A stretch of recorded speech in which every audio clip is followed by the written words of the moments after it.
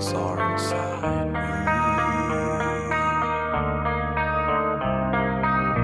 A voice singing angelic words, and I sigh.